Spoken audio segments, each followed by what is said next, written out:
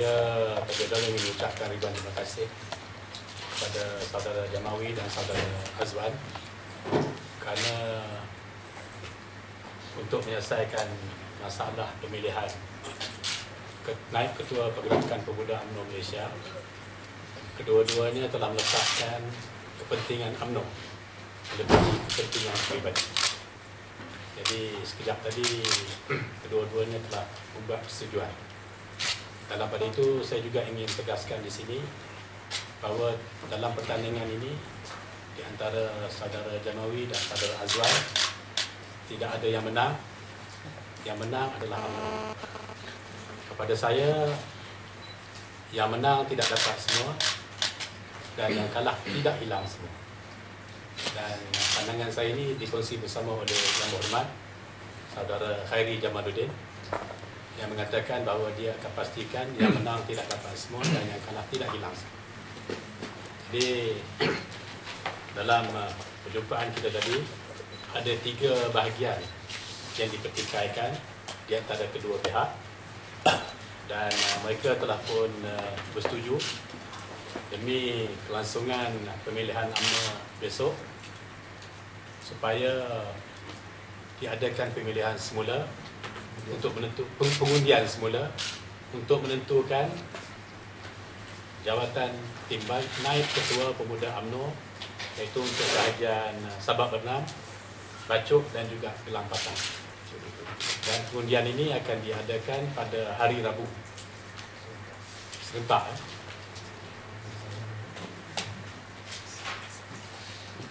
sebagaimana saya sebutkan tadi saya ingin ucapkan ribuan terima kasih lah kepada kedua-duanya dan uh, saya sedar dalam memberikan persetujuan ini saudara Azwan dia ada masalah sikit. Kerana besok dia bertanding dalam itu bahagian.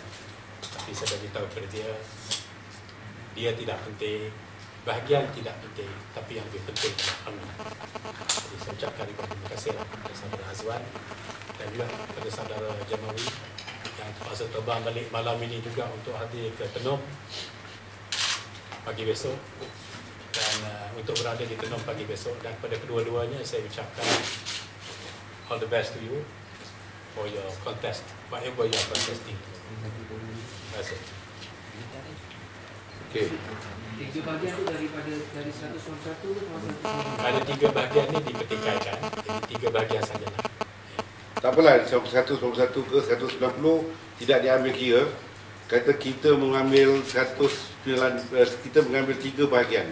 Sabak berenam, gelang patah dan juga bacuk. Untuk pengundian naik ketua pemuda UMNO Malaysia saja. Electoral ke popular vote? Undi semula. Ya, kalau di bahagian mana ada electoral vote, dia popular vote lah. Ya. Popular vote di tiap-tiap bahagian, bukan campur semua sekali. Ya. Maknanya, minta maaf lah, electoral college vote lah. Ya. Maksudnya, maknanya, maknanya selepas tiga bahagian yang membuat pengundian semula uh, maka kemenangan akan ditentukan lah. ya, kerana yang base tu kedua-dua dah bersetuju tadi. So, uh, jawab, uh, apa keputusan dia mungkin akan ditahu deklarasi awal dia nanti. Ya, bujuk. Hari Rabu lah. juga. Ya, Rabu, Rabu depan lah eh? Ya, Rabu depan. Adakah uh, sekarang ni kedudukan mereka dua calon dua ni seri? Itu saya kita akan bagi tahu kemudian lah ya. Jadi kalau tidak nanti banyak spekulasi pula ya. Jadi kita bagi tahu kemudian. Ha, nanti pasal pasal di bahagian tu dia nak tentukan.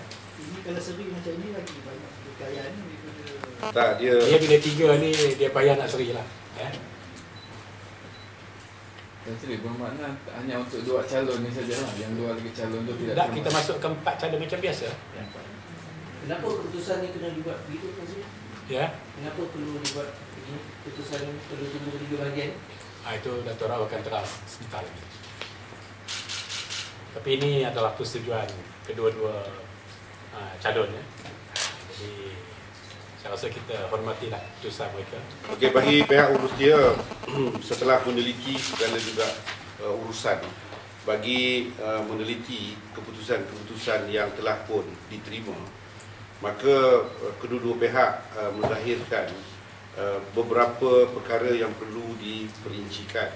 Hasil daripada perbincangan antara kedua-dua pihak, satu langkah telah diambil iaitu mengadakan semula persidangan di ketiga-tiga bahagian yang ada sedikit keraguan tentang keputusan yang telah pun diputuskan.